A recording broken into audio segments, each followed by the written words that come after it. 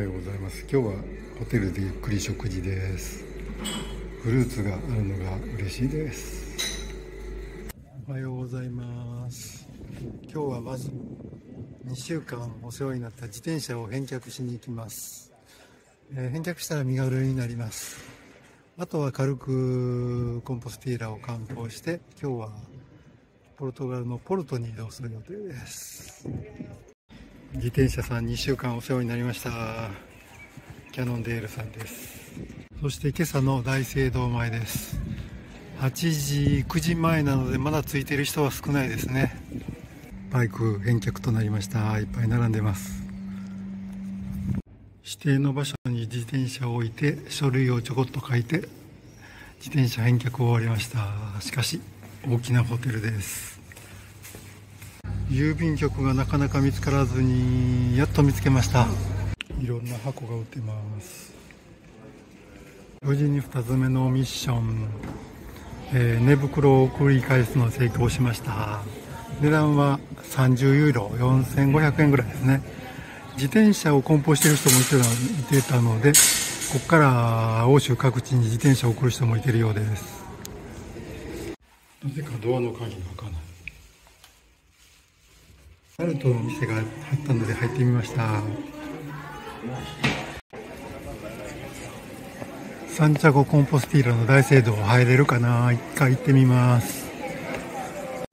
教会内部に入れました。すごいです。これからミサが始まるのかな。このパイプオルガンの凄さでかさ。これがヤコブさんの棺かな。The visit time is over. The visitors that are not staying for the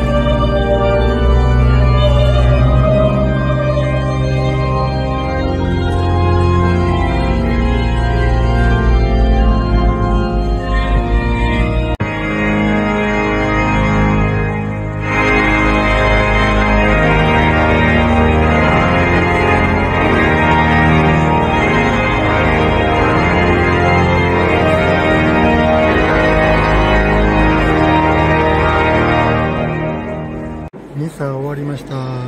50分ぐらいありましたね。最後だけ分かりました。何時隣人を愛しなさい。参列者が抱き合ったりしたのでそういう意味だと思います。ミサ終わったので中央部分に近づけました。この光とかすごい綺麗ですね。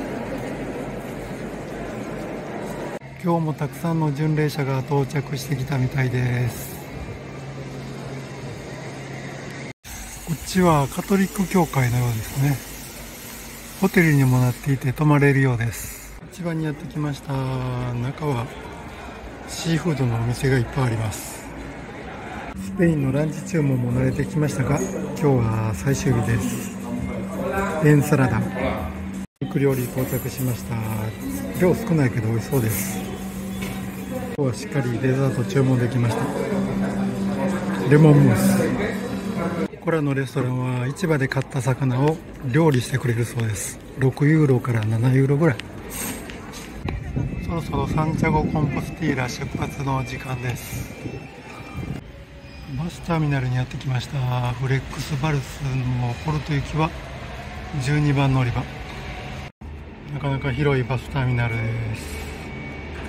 バス来てますね。乗り込みます。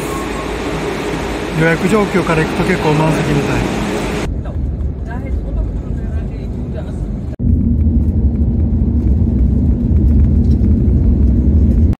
ポルトに到着歩いてホテルに向かいます。バスの乗り方とかわからんのでひたすらホテルまで歩きます。1.4キロ。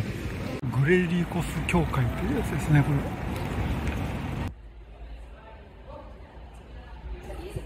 れ。エアチェックインしました。ダブルベッドルーム。トイレシャワーは共用です。